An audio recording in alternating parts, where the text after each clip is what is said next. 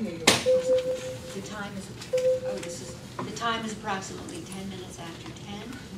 My name is Martha Robinson. I'm Associate General Counsel of the New York City Department of Health and Mental Hygiene for two more days.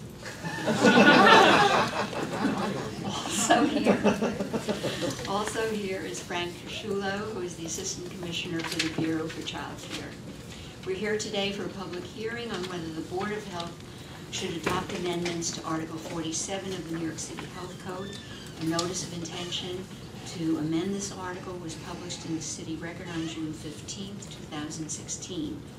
We're here today for the public hearing um, for your comments on whether the Board of Health should adopt these amendments. And a copy of the first page of the notice of intention has been provided to the reporter to include in the record. Persons wishing to speak at the hearing were asked to pre-register. If there are any other persons who are, uh, who have arrived uh, after I initially said uh, we have a registration sheet, please, anyone to speak, please sign up right now. We'll call upon those of you who pre-registered. We have one, we have two people who- who've registered. The first person is Lisa Caswell. Ms. Caswell, could you um, spell your name, have a seat over there, press the button that has the face on it, uh, speak into the mic, and also uh, indicate any organization that you're with, please, and spell your name for the reporter. Sure, my name is Lisa Caswell. I'm with the Daycare Council of New York. My last name is spelled C-A-S-W-E-L-L. I'd like you to just stop me at the point of five minutes. Um, First of all, we want to thank you for holding these hearings and for the consistent efforts you've made to improve and strengthen the system. Uh, We have some general concerns and then specific concerns. Um, The first one relates to teacher and trainer qualification verification. I'm just going to read directly. Uh, While we applaud the DOHMH in the attempts to strengthen the qualifications and backgrounds of trainers and teachers, the proposed amendment in its present form only leads to more questions and concerns rather than clarifying the desired goals.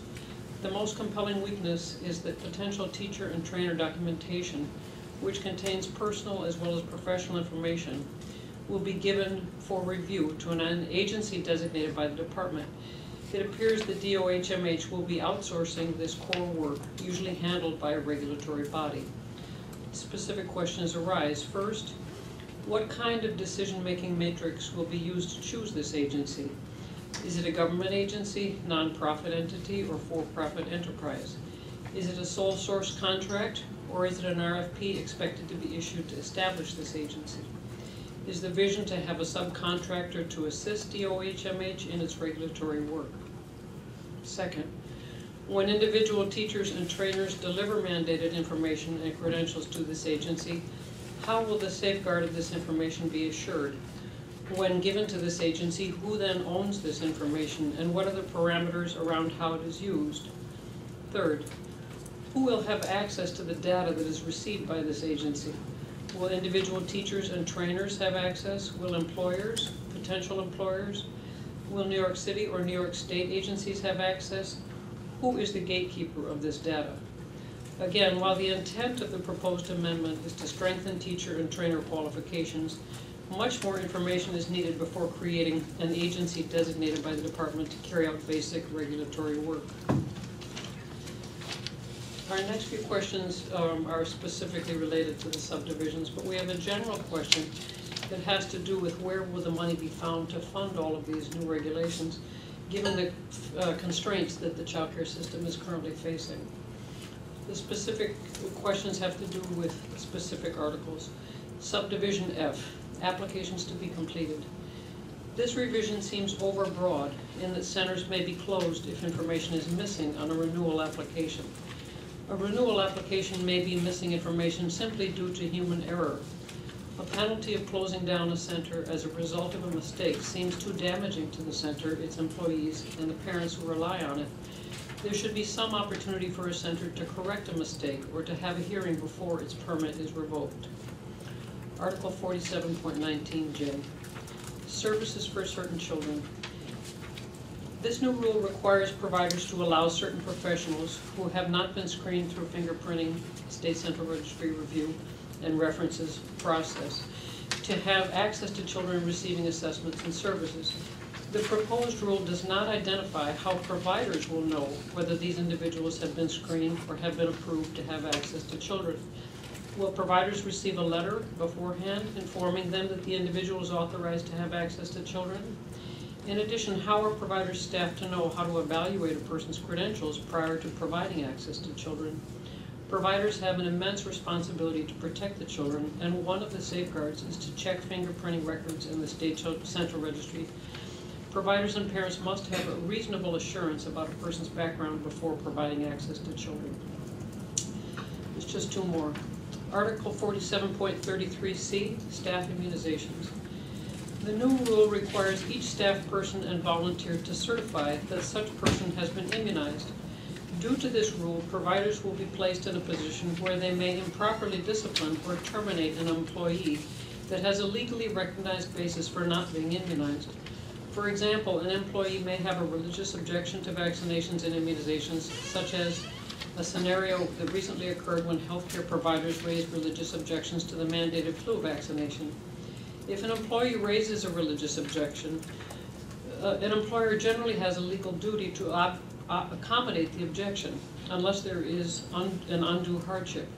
Failure to accommodate the objection could result in employment lawsuits and liability for discriminatory actions. The rule may also unfairly impact staff who have valid medical reasons why they cannot receive an immunization. For example, a person may have an allergic or harmful reaction to an immunization. DOH needs to clarify whether employees with medical or religious concerns may be exempted from the rule or whether the rule must be strictly followed, resulting in the person's employment being terminated. Such a clarification will prevent unnecessary claims against employers based either on anti-discrimination laws or protections against unjust terminations in collective bargaining agreements. And This is the last part. Article forty-seven point twenty-one, A three, corrective action plan. The new rule proposes that a corrective action plan may be required when the department determines that the permittee has been operating with serious uncorrected violations over a period of time. If the corrective action plan will only be required after a citation and finding of a violation, or after a finding that a prior corrective action plan has not been followed through, then the rule change appears repetitive. If the corrective action plan is needed before any finding of a violation, then the rule seems to require a corrective action without a process for establishing fault. So these are very detailed responses, but we thank you for your efforts to update the code. And you have submitted these in writing, I correct? have ten copies, I don't know where. All right, just give them. them to us. Thank Thank you. Uh, The next person who is pre-registered is Alice Mulligan. Ms. Mulligan, just spell your name and indicate any affiliation you have. Yes. Mulligan, M-U-L-L-I-G-A-N. I'm the executive director of Our Saviors Lutheran Preschool in Brooklyn. As an early childhood facility licensed by the Department of Health since 1969, we have always adhered to the requirements of Article 47 of the Health Code. As we know, one of the many components of this code includes fingerprinting for criminality and clearance from the State Central Registry for Child Abuse and Maltreatment, SCR for all people who have the potential for unsupervised contact with children. As required, we have always screened staff, volunteers, student teachers, and SEITs. These screenings are currently done digitally, allowing us to be directly notified of an arrest or of a child abuse allegation against anyone with access to children working in our building. This winter, while attempting to process a new SEIT to begin services for a pre-K child with special needs in our program, we were informed by the DOE that there was an internal agreement between the DOE and the DOH and that we are now relieved of our obligation to run security checks, as such individuals are already cleared by their agencies. We were also told that our attempt to obtain clearance would cause a delay in the child's educational program. We are now faced with having to rely on the discretion of other vendors, agencies to inform us if one of their employees working in our building has been arrested or accused of child abuse or maltreatment, as we will no longer be in the direct line of notification. At our Saviors Lutheran Preschool, we believe that we can no longer attest to the security of our own building. New York has made great strides in recent years in its efficiency of running security checks. As a DOH licensed school providing UPK services, we routinely process individuals for criminality through the online PEX system. Their status of eligibility or ineligibility is instant. SCR clearance is also online and those results are usually within five business days. Reliable systems are in place and we believe that we can both meet a child's educational needs as well as ensure their safety. Children in New York City should not be faced with an either-or scenario and deserve to be both educated and safe. Mayor de Blasio's push for pre-K for all has resulted in tens of thousands of children entering daycare and school facilities. We have seen and will continue to experience a marked increase in the number of children in need of special education and similar support services in the coming years. We believe that this attempt to relax critical and sound Article 47 security requirements for persons who come in contact with children in DOH licensed school, schools will only result in children being hurt. Thank you. Thank you. Is there anybody else here who wishes to testify? Yes?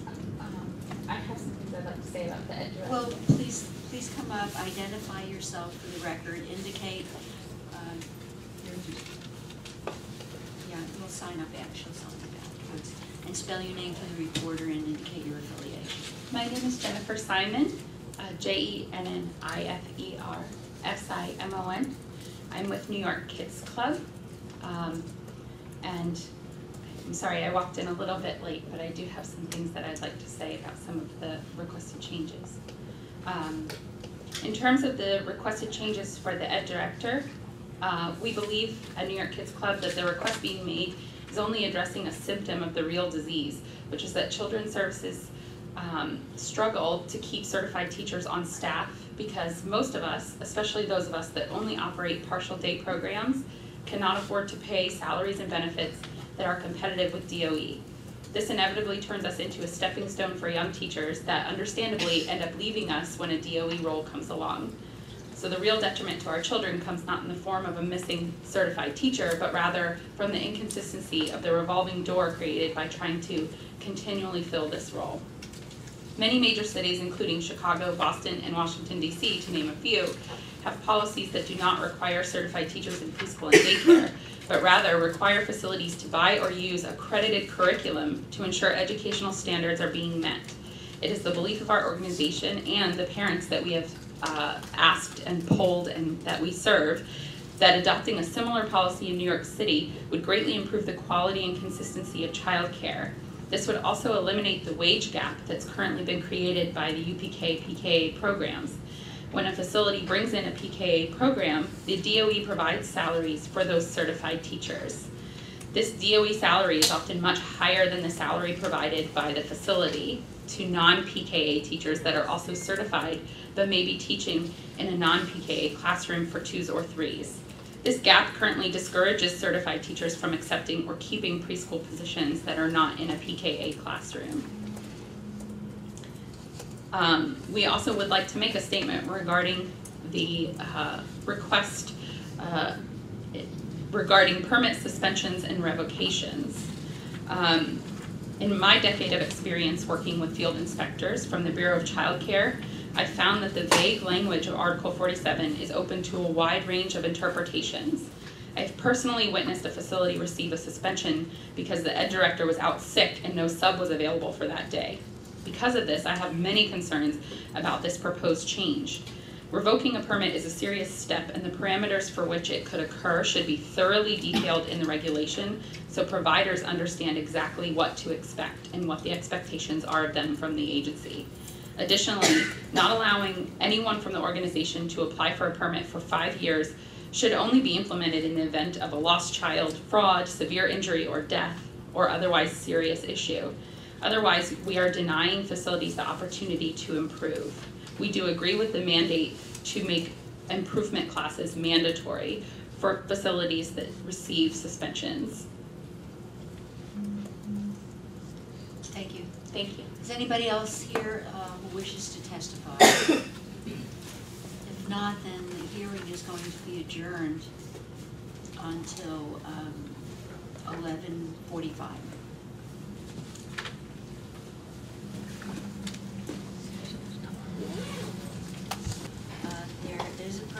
who wishes to testify. Her name is Louise Higgins. Ms. Higgins, uh, please come up and indicate um, what your affiliation is and spell your name for the reporter. And turn on the uh, red light. Good morning. Louisa Higgins, L-O-U-I-S-A, last name H-I-G-G-I-N-S. And I am representing the New York Early Childhood Professional Development Institute based at the City University of New York. Uh, The New York Early Childhood Professional Development Institute is in full support of the proposed amendments to Article 47 of the New York City Health Code, specifically the changes related to sections 47.13, 47.15, 47.17, and 47.37 that would require child care programs to submit teachers and trainers documentation for review to a qualified agency. It is our belief that outsourcing the verification of educational information for education directors and teachers will lead to increased program compliance and will allow DOHMH field staff to focus their efforts on increasing program quality. Currently, education verification happens on site and is not tracked in a data system. There are lead teachers on study plans to achieve certification who have seven years to meet the education requirement. However, a teacher can move from one program to another and there is no mechanism to track this movement. In addition to education and certification, high-quality professional development is an integral component of program quality in early childhood settings. Providers of professional development should be qualified to offer training across the range of topics related to working with young children. We support the proposed amendment to have trainer documentation reviewed to determine if individuals have the education and professional experience to teach on particular subjects. An enhanced system for tracking teacher education and professional development supports the national movement towards creating career pathways for the early childhood workforce.